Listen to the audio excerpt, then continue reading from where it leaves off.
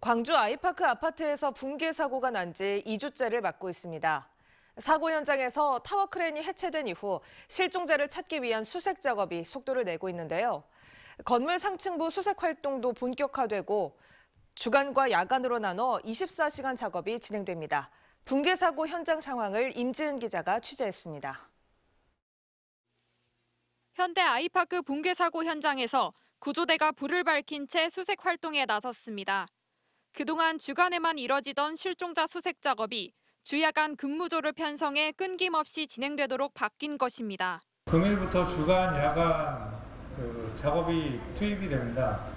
주간은 현재 15명이 집중적으로 22층 작업을 하고 있습니다. 야간은 18, 18시부터 05시까지 사고 발생 14일째를 맞아 실종자 수색의 속도를 낼 수 있도록 24시간 작업제로 전환됐습니다.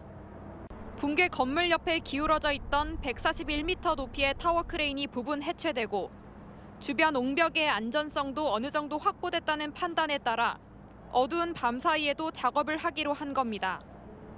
해외 대형 재난 현장 경험이 있는 전문 구조대원 14명이 투입됐고 시공사인 현대산업개발도 지지대 등 안전장치를 보강하며 보조 업무를 지원합니다.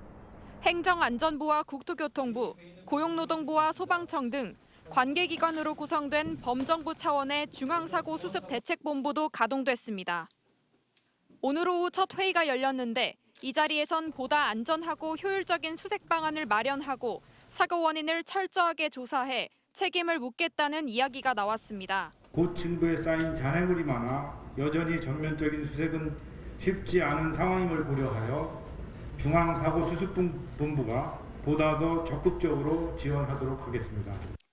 수습본부는 기존의 구조견들이 반응을 보였던 건물 상층부를 중심으로 작업을 진행하고 있습니다. 실종자를 찾기 위해선 곳곳에 쌓여 있는 콘크리트 등 잔재를 없애는 게 우선인데 특히 22층에 있는 콘크리트를 절단기를 통해서 제거하고 27층엔 구조대원들이 드나들 수 있는 진입로까지 만들고 있습니다. MBC 뉴스 임지은입니다.